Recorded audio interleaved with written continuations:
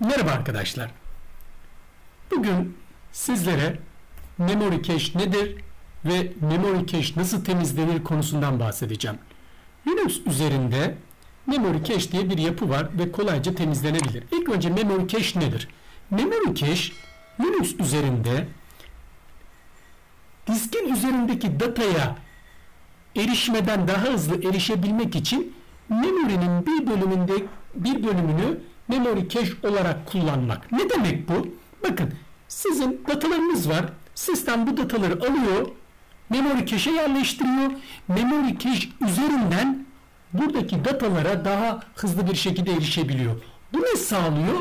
Sizin sisteminizin performansını arttırıyor. Heh, bu iyi bir şey ama zamanla memory cache şişebiliyor. Şiştiğinde de bu da ne yapabiliyor? Sizin memory cache'inizin şişmesi performansınız bu sefer yavaşlatıyor. Zaman zaman gelip memory cache'i temizlemeniz, boşaltmanız gerekebilir. Ha bunun bir dezavantajı var mı? Sürekli bunu yapmanın bir dezavantajı var mı? Şu var.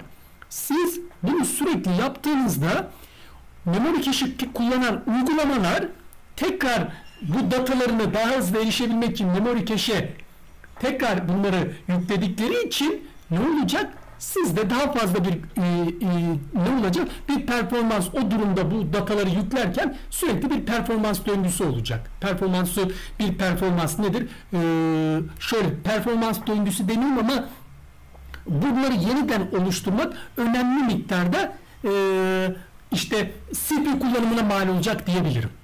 Şimdi tamam. Gelelim memory cache anladık. Ne yapıyoruz? Diskteki verilere daha hızlı erişmek için Bunları memory cache'e memoriye yerleştiriyoruz. Diskten erişmek yerine memoriden erişiyoruz. Buraya kadar tamam. Artık şeyi anladık. Şeyi öğrendik. Memory cache nedir? Memory cache'i nasıl temizleyebilirim? Nasıl görebilirim? Bakın arkadaşlar ilk önce memory cache'in nasıl temizlendiğinden, nasıl göreceğimizden bahsedeyim. Bakın açıyorum. Bu benim makinem CentOS 7. İlk önce makineye bakalım. Şöyle makinene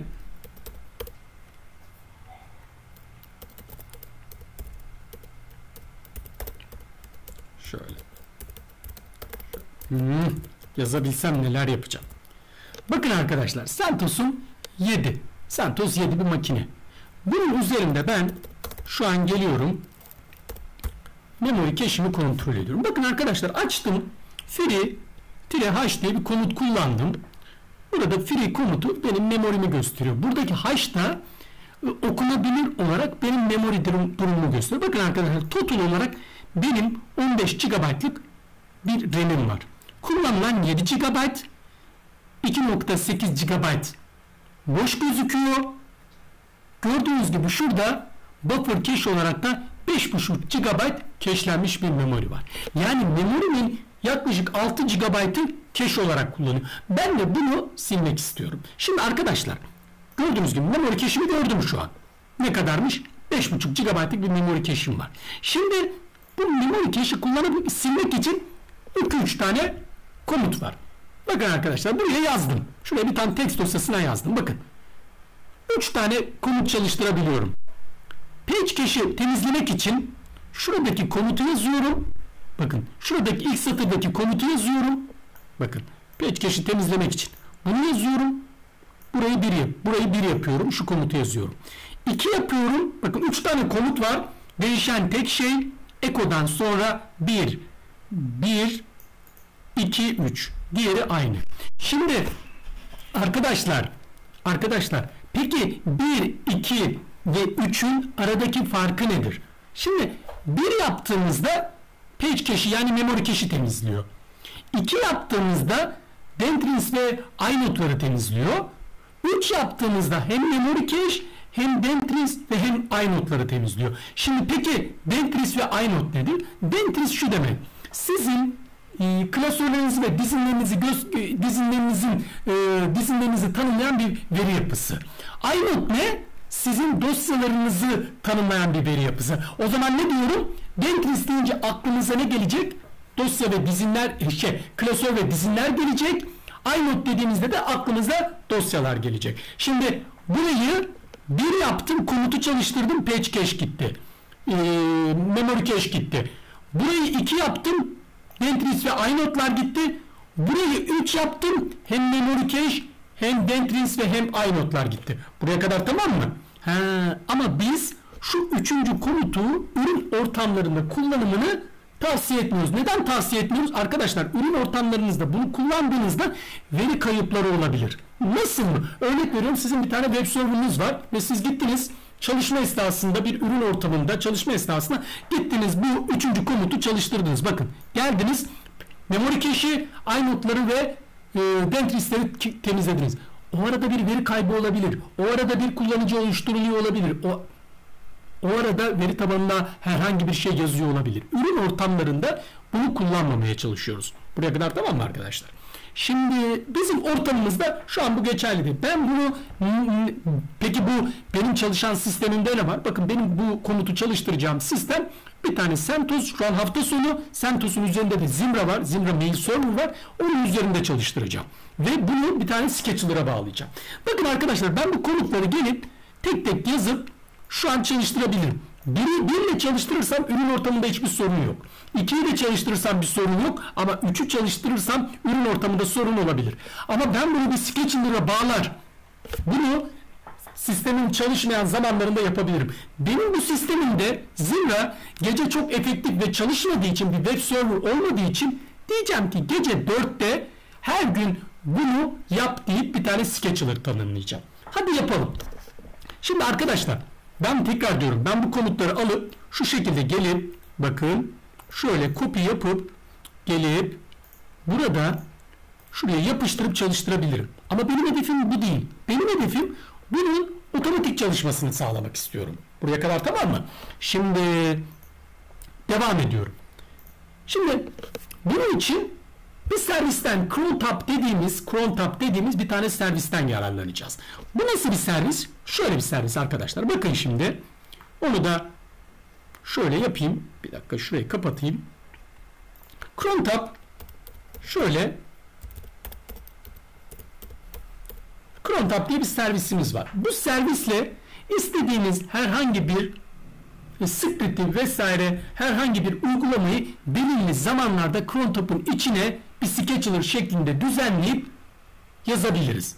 Bakın yeni bir e, cron içine yeni bir e, script tanımlamak için yeni bir e, yeni bir uygulamayı tanımlamak için bunun öncesinde ben gideceğim ilk önce ne yapacağım çalıştıracağım e, script dosyasını hazırlayacağım. Bakın script dosyasını hazırlamak için şunu yapıyorum. Bakın geleceğim bir tane dosya oluşturacağım. Memory isim veriyorum. Memory clear cache diye böyle bir dosya. Şimdi bir memory clear cache dediğimde ne yapacak? Bu isimde bir dosya olmadığı için bunu görüntüleyemediği için normalde ne yapacak? Böyle bir dosya oluşacak. İçini açtım. İçini açtıktan sonra arkadaşlar bakın buraya zaten size gösterdim. Buraya yazdım zaten. Şu komutu alıyorum. Bakın. Copy diyorum. Sonra geliyorum. Bu script'in içine tekrar şurayı düzelteyim.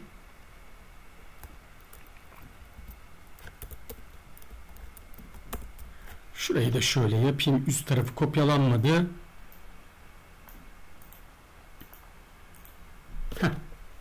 Burayı bu şekilde yazdım.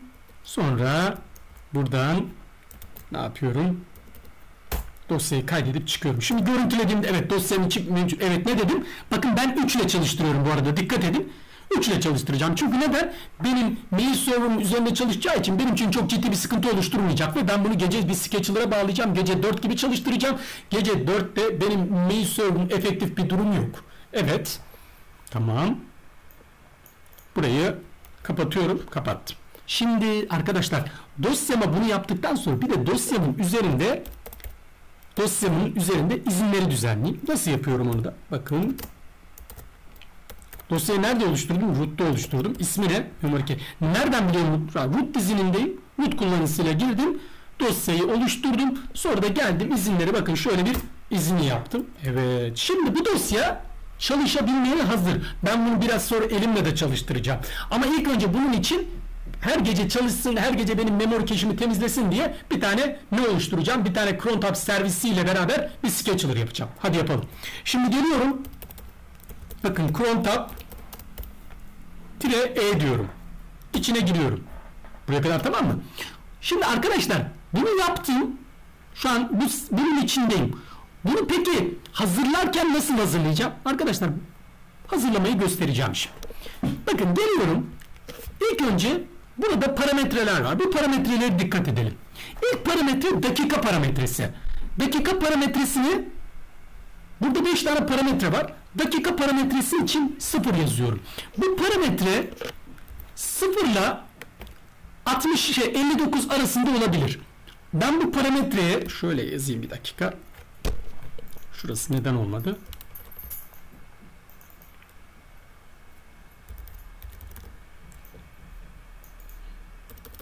Niye yazamıyorum buraya? Bir dakika geleyim şöyle. Tamam. İlk parametrem dakika parametresi. Dakika parametresini 1 ile 59 arasında yazabilirim. Bir saat tanımlayacağım. Bakın buraya 0 tanımlıyorum. Ondan sonraki parametre saat parametresi 0, 1 ile 23 arası 0 ile 23 arasında bir değer yazabilirim. 0 ile 23 arası. 0 yazarsam gece 12, 1 yazarsam gece 1, 3, 4, 4, 23'e kadar yani gece 11'e kadar devam eder. Ben buraya ne yapıyorum? Gece 4'te çalıştırılsın diyorum. Ondan sonraki parametre 3 tane daha parametre var. Tanımlayabilirim. Ne parametresi tanımlayabilirim? 1. Ayın hangi günü çalışsın? Burayı ayın hangi gününü tekrar 1 ile 31 arasında bir değer yazabilirim. Sen diyebilirsin ayın her gün 15'inde çalışsın. He, ayın her gün çalışsın diyorum. Yıldız koydum. Bakın arkadaşlar. Sonra ayın hangi ay çalışsın diyebilirim. Kaç ay var? 12 ay var. 1 ile 12 yazabilirim. Yani diyebilirim ki ya bunu Ocak'ta çalıştır deyip birinci yapabilirim. Peki her ay çalışmasını istiyorsam yine bir yıldız koydum. Sonuncu parametre haftanın hangi günü? Haftanın birinci günü bazı Linux sistemlerinde bu 06 der, bazı Linux sistemlerinde 07 der. Burada benim sistemimde 06. Ben buraya haftanın her gün çalışsın istediğim için buraya da yıldız koyuyorum. Buraya kadar tamam mı? Süper. Ne yaptım? Dedim ki gece 4'te çalışsın 4, 4 20 dersem buraya sıfırın yerine 20 yazarım. Ayın şu gün çalışsın dersem ayın 15'i dersem buraya ayın 15'i yazarım. 3 ay 3. ayda çalışsın sadece dersem buraya gelip 3'ü Mart olarak 3'ü seçerim. Haftanın şu günleri dersem haftanın işte 3. günü deyip buraya yazabilirim. Ama ben ne diyorum? Haftanın her günü diyorum. Ha, ondan sonra ne yapıyorum peki? Geliyorum komutumu yazıyorum. Komutum ne? Şu. Diyorum ki buradaki script'i çalıştır. Neydi peki dosyamın adı? Hemen memory doğruydu herhalde. Bakalım yine bakarız kontrol memory clear cache sh dosyam buydu. Doğru mu? Ha, şimdi geliyorum. Kaydediyorum. Sketch'larım artık hazır. Geliyorum içine giriyorum. Gerçekten böyle miydi? Bakalım. Memory clear cache. Ha, süperim. Devam ediyorum. Şimdi geldim arkadaşlar. Bakın içine girdim. Memory clear cache. Sketch'larım tamam. Her gün 4'te artık bu sketch'lar çalışacak. Şimdi artık elimle çalıştırabilir miyim peki? Tabii çalıştırabilirim. Nasıl mı? Şöyle arkadaşlar bakın. Şimdi ilk önce memory'me bakayım. Tekrar çalıştırmadan önce memory'm ne kadar? Hmm, memory cache'im ne kadar? 5.5 GB. Komutu geliyorum şöyle çalıştırıyorum arkadaşlar. Bakın. Şöyle yapayım. Bir dakika. Memory clear cache dedim. Şuraya da Memory clear cache yok mu diyor bir dakika. Şöyle çalıştırayım. Heh. Memory clear cache diye çalıştırdım. Şimdi memory'mi kontrol ediyorum. Bakın arkadaşlar cache ne kadar oldu? 5.5 GB'dan 1.5 1 GB'a indi. Şimdi ne yaptım? Memory'mi temizledim. Heh. Artık ne yapabilirim? bunu manuel yapabildiğim gibi artık otomatik de yapabilirim. Evet. Sizlere bu videoda Linux Linux ben bunu sürekli Türkçe ile şey yapıyorum. Linux hmm, CentOS 7 üzerinde cache'i nasıl memory cache'i nasıl temizleyeceğimizi anlatmaya çalıştım. Dediğim gibi bunun bu komutları e, videonun altına da koyacağım. Bu komutlar aracılığıyla memory cache'inizi kolay bir şekilde artık temizleyebilirsiniz. Umarım bu video sizler için faydalı olur. Bu komutu istediğim zaman yine çalıştırabilirim. Çalıştırabilirim tabii ki. Bakın tekrar çalıştırdım. Tekrar kontrol ediyorum. Cache'im ama her gece artık bu çalışacak. Benim cache'im çalış ke, gece bunu çalıştıracağım.